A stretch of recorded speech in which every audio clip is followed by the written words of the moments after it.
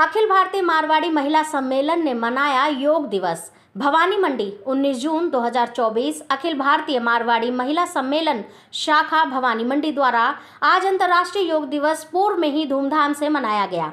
सम्मेलन की वरिष्ठ मीडिया प्रभारी सुधा फलैट ने बताया कि स्थानीय महेश्वरी भवन में सम्मेलन के सदस्यों द्वारा महेश्वरी महिला मंडल के तत्वाधान में योग दिवस मनाया गया। इस अवसर पर सम्मेलन की अध्यक्षा श्रीमती सुमन चतुर्वेदी ने कार्यक्रम को संबोधित करते हुए कहा कि योग हमारे जीवन का अभिन्न अंग है और यह हमें शारीरिक और मानसिक रूप से स्वस्थ रखने में मदद करता है। उन्होंने कहा कि योग न केवल हमारे शरीर को मज़बूत बनाता है, बल्कि हमें तनाव और चिंताओं से भी मुक्त रखता है। कार्यक्रम में योग प्रशिक्षक श्री रवीश कुमार पाटीदार ने उपस्थित महिलाओं को विभिन्न योगासन का अभ्यास कराया। उन्होंने बताया कि योगासन करने से रोग प्रतिरोधक क्षमता बढ़ती है। और कई बीमारियों से बचाव होता है। उन्होंने महिलाओं को नियमित रूप से योग करने के लिए प्रेरित किया।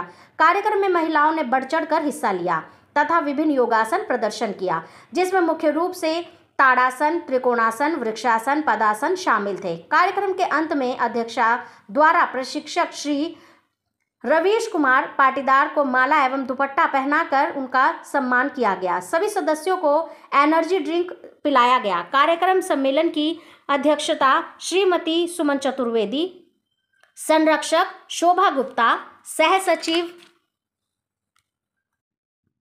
आशा काग्या, निशा भराडिया, रीना आदिचय, चतुर्वेदी शशि खंडेलवाल, प्रेमलता खंडेलवाल, सपना खंडेलवाल, मोनिका बंसल, प्रतिभा पोरवाल, विनीता मंत्री, हेमलता जैन राजेश बिरला, राधा गुप्ता, रीना शर्मा, राजश्री जायसवाल, लता मुंदड़ा, नीतू काग्या, कविता राठी, बीना राठी, सरोज जाखेतिया आदि ने हिस्सा लिया। भवानी मंडी से न्यूज़ संवाददाता किशोर तंवर की ये खास रिपोर्ट।